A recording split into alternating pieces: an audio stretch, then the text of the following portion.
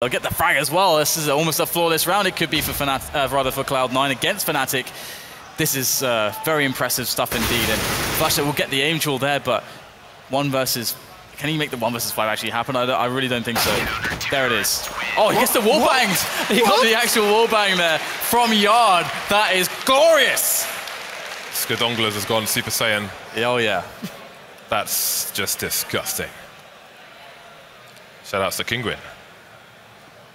Oh my god, here it is. I'm here, I'm Flusha. Boom. What the hell? He gets absolutely wrecked through the wall. Adios. Oh, that's that's just perverted. Stop it. That's disgusting. Okay, 1919. Two rounds remaining. This could